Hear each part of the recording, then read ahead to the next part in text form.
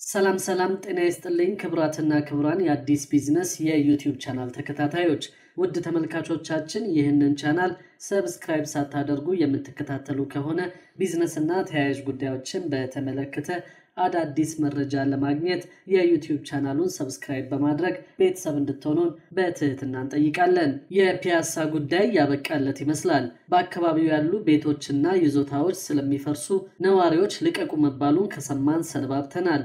ይህ ሁሉ የሚሆነው ፒያሳን ለቢሊዮነሩ ሼክ መሐመድ አላሙዲን ለማስረከብ መሆኑን የውስጥ አዋቂ ምንጮቻችን ነግረውናል። አካባቢውን የባለ ሀብቱ ንብረት ለሆነው ለሚድሮክ ኢትዮጵያ ለመስጠት ዝግጅት መጠናቀቁን ጉዳዩን የሚያውቁ እነዚህ ምንጮች ገልጸዋል።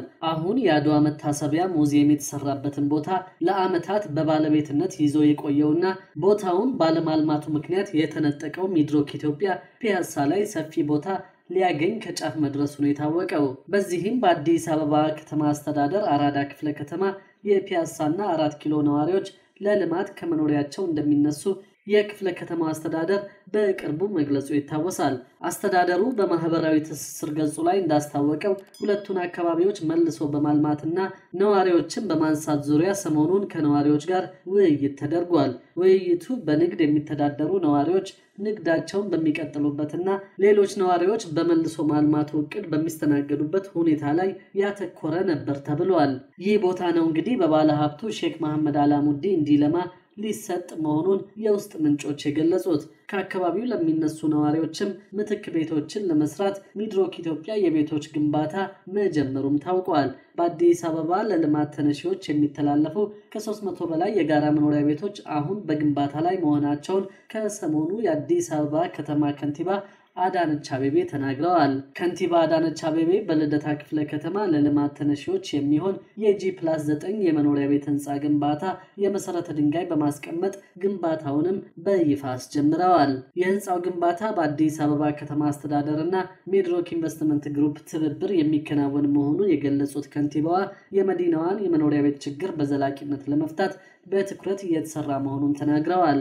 በአሁኑ ወቅት ለልማት ተነሺ የመዲናዋ ነዋሪዎች የሚተላለፉት ከ300 በላይ የጋራ መኖሪያ ቤቶች በግንባታ ሂደት ላይ መሆናቸውንም ጠቅሰዋል። የመዲናዋን እድገት የሚመጥኑና የዜጎችን አኗኗር የሚያዘምኑ መኖሪያ ቤቶች እየተገነቡ መሆኑንም አንስተዋል። በመሆኑም የመኖሪያ ቤት ችግርን በዘላቂነት ለመፍታት በሚደረገው ጥረት የግሉ ዘርፍ ድጋፍና ትብብር ሊጠናከር ይገባዋል ብለዋል። የሚድሮክ ኢንቨስትመንት ግሩፕ በትምህርት ቤት ምገባ፣ በመኖሪያ ቤት ግንባታና በመዲናዋ በሚከናወኑ ሌሎች የልማት ስራዎች በስፋት በመሳተፍ እያበረከተ ላለው አስተዋጽኦ ምስጋናቸውንም አቅርበዋል። የሚድሮክ ኢንቨስትመንት ግሩፕ ዋና ስራ አስፈጻሚ ጀማል አህመድ ድርጅታቸው በመዲናዋ የልማት ስራዎች የነቃ ተሳትፎ እያደረገ መሆኑን ጠቅሰው ቀጣይነት እንደሚኖረውም በዚሁ ወቅት አረጋግጠዋል።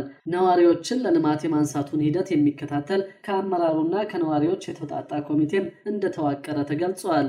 በተለይ የፒያሳ ነዋሪዎች በሶስት ወራት ውስጥ አካባቢውን እንዲለቁ እንደተነገራቸው ምንጮቹ ጠቁመዋል። ነባር ነዋሪዎቹን የማስነሳቱ ስራ በሶስት ወራት ውስጥ ተጠናቆ የግንባታ ስራው ይጀምራል ተብሏል። ከዚሁ ጋር በተያያዘም ከቀበና እስከ አራት ኪሎ እንዲሁም ፒያሳ ደጎል አደባባይ ድረስ የመንገድ ኮሪደር ግንባታ ስራ ከሰሞኑ መጀመሩ ታውቋል። የከተማ አስተዳደሩ ካቢኔ የካቲት 15 ቀን 2016 ዓ ም ባካሄደው የሶስተኛ ዓመት ስምንተኛ መደበኛ ጉባኤ ግንባታቸው እንዲጀመር ውሳኔ ካስተላለፈባቸው አምስት የከተማዋ የመንገድ ኮሪደሮች መካከል በአራዳ ክፍለ ከተማ የሚገኘውና ከቀበና አደባባይ አራት ኪሎ ፒያሳ ደጎል አደባባይ አንደኛው ኮሪደር ነው።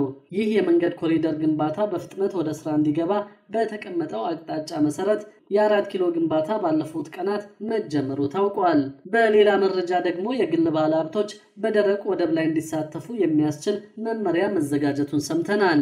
በደረቅ ወደብ ልማትና አገልግሎት ላይ ተሰማርተው መስራትና የመጀመሪያውን ፈቃድ ለመውሰድ ለሚፈልጉ የሀገር ውስጥና የውጭ ባለ ሀብቶች ፈቃድ ለማውጣት የሚጠበቅባቸውን መስፈርት የሚዘረዝር መመሪያ ተረቀቀ። በትራንስፖርትና ሎጂስቲክስ ሚኒስቴር ተዘጋጅቶ አስተያየት እንዲሰጥበት የተሰራጨው መመሪያ እንደሚገልጸው የደረቅ ወደብና ተርሚናል ማልማት የሚፈልግ ባለሀብት ማሟላት ከሚገባቸው መስፈርቶች አንደኛው ከባህር ወደብ ጋር በሚያገናኝና ከባድ ተሽከርካሪዎችን በሚያስተላልፉ ዋና መንገዶች ጋር ተገናኝቶ ማልማት ነው።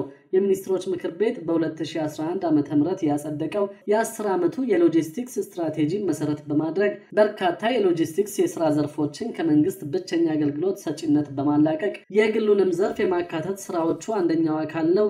የደረቅ ወደብን አገልግሎት ፈቃድ ለግሉ ዘርፍ ለመስጠት እየተሰራ ያለው ከስትራቴጂው በማስቀጠልም የሚኒስትሮች ምክር ቤት በ2012 የሎጂስቲክስ ፖሊሲውን ሲያጸድቅም የደረቅ ወደብ ልማትና አገልግሎት ለግል ባለሀብቱ ክፍት እንዲሆን መወሰኑ ይታወሳል። ልዩ ተርሚናል፣ የሎጂስቲክስ ፓርክና የሎጂስቲክስ ሀብ የተካተቱበት የደረቅ ወደብና ተርሚናል አገልግሎቶች ማሟላት የሚገባቸውን በርካታ መስፈርቶች ዘርዝሯል መመሪያው። አብዛኛው በመሰረተ ልማት ደረጃ ማሟላት ያለባቸውን ነገሮች የደረደረ ሲሆን መስፈርቱ የደረቅ ወደቡን ከባህር ወደብ ጋር ከሚያገናኝ ዋና መንገድ ጋር ማገናኘትን የመስፈርቱ አካል ነው። የተርሚናል አይነቶቹ አምስት ሲሆኑ የኮንቴነር ተርሚናል፣ የደረቅ ብትን ጭነት ተርሚናል፣ የጥቅል ዕቃ ተርሚናል፣ የተሽከርካሪ ተርሚናል እንዲሁም የኢንተርሞዳል ተርሚናል ናቸው። በርካታ የመሰረተ ልማት መስፈርቶችን ከማሟላታቸው ባሻገር አምስቱም አይነት ተርሚናሎች እንደ ቅደም ተከተላቸው የቆዳ ስፋታቸው 2.5፣ 2፣ 3፣ 1.5 እና አራት ሄክታር መሆን አለባቸው። ከደረቅ ወደብ ውስጥ የሚገኘው የሎጂስቲክስ ፓርኩ በትንሹ 33 ሄክታር ላይ ያረፈና 9 ሄክታር የለማ መሆን ይጠበቅበታል። ከ48 ያላነሱ ባለሙያዎች ያሉበት እያንዳንዳቸው በአራት ሄክታር ላይ የተሰሩ ከሶስት ያላነሱ መጋዘኖች ያሉበት እንዲሁም በርካታ የአደጋ መከላከያና ሌሎች መሰረተ ልማት የተሟሉበት መሆን ይጠበቅበታል የሚለማው የሎጂስቲክስ ፓርክ ከፍተኛውን የቆዳ ስፋት እንዲይዝ ታስቦ የተቀመጠው የሎጂስቲክስ ሀብ ልማቱ ሲሆን እሱም በትንሹ ከ80 ሄክታር ባላነሰ ቦታ ላይ የተሰራና 34 ሄክታሩ በአስፋልት ኮንክሪት የተገነባ የኮንቴነር የደረቅ ብትን ጭነት የጥቅል ዕቃ የተሽከርካሪና የ intermodal ተርሚናሎች ያሉት መሆን እንደሚጠበቅበት መመሪያው ይዘረዝራል። የሎጂስቲክስ hub ከአንድ መቶ ያላነሱ ከባድ ተሽከርካሪዎችን በአንድ ጊዜ የሚያቆም መሆን እንዳለበትም መቀመጡ ታውቋል። የቀድሞ የትራንስፖርት ሚኒስትር ዴኤታና የኢትዮጵያ ማሪታይም ባለስልጣን ዋና ዳይሬክተር ሆነው አገልግለው የነበሩት በአሁኑ ጊዜ በግል ስራ ሎጂስቲክስ ማማከር ላይ የሚገኙት ኢንጂነር የኋላሸት ጀምሬ አስተያየታቸውን ለሪፖርተር ሲሰጡ እንደገለጹት በደረቅ ወደብ ላይ የሚሰጡ አገልግሎቶች ደረጃቸውን የጠበቁና አገልግሎቶችም የካርጎ ፍልሰቱን የሚያሳልጡ እንዲሆን በማሰብና ወደቦቹ የተሻለ አደረጃጀት እንዲኖራቸው እንደሚገባ ነው።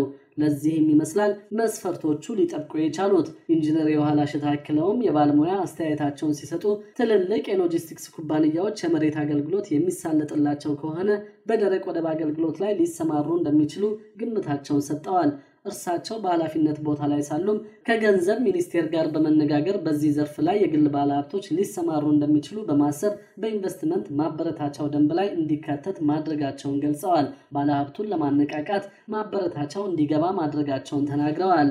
በመጨረሻው መረጃችን ደግሞ ኢትዮጵያ ለስደተኞች ዲጂታል መታወቂያ መስጠት መጀመሯን ሰምተናል። የስደተኞችና ተመላሾች አገልግሎት ከብሔራዊ መታወቂያና ከተባበሩት መንግስታት ድርጅት የስደተኞች ኤጀንሲ ጋር በመተባበር ለስደተኞች የዲጂታል መታወቂያ መስጠት መጀመሩን አስታውቀዋል። ለስደተኞች ዲጂታል መታወቂያ የመስጠት መርሃ ግብሩ ይፋ ሲደረግ የስደተኞችና ተመላሾች አገልግሎት ዋና ዳይሬክተር ወይዘሮ ጠይባ ሐሰን እንደገለጹት ኢትዮጵያ ስደተኞችን ተቀብላ በማስተናገድ የቆየ ባህል አላት። በአሁኑ ጊዜም ከአንድ ሚሊዮን በላይ ስደተኞች በኢትዮጵያ ይገኛሉ።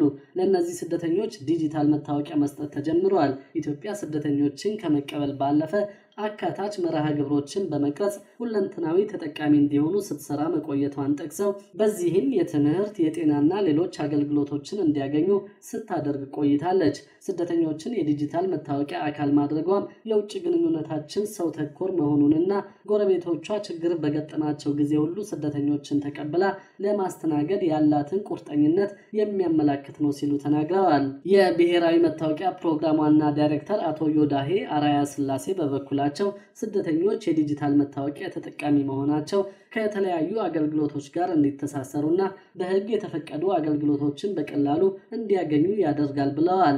የብሔራዊ መታወቂያ ስርዓት ዋና ጠቀሜታው በተቋማት መካከል መናበብና ቅንጅታዊ አሰራርን ማጠናከር መሆኑን አስታውሰው ስደተኞች ዲጂታል መታወቂያ ተጠቃሚ መሆናቸው የተለያዩ አገልግሎቶችን ለማግኘት የነበረባቸውን ውጣ ውረድ እንደሚያስቀርላቸው አመልክተዋል። ይህም ኢኮኖሚው፣ የፍትህ ስርዓቱና ሌሎችም መስኮች ላይ የተሻለ ውጤት ለማስመዝገብ ያስችላል። ይገልጻል። የዲጂታል መታወቂያው በኢትዮጵያ ለሚኖሩ ዕድሜያቸው ከ14 ዓመት በላይ ለሆኑ ሁሉም ስደተኞች ተደራሽ እንደሚሆን ተጠቁመዋል።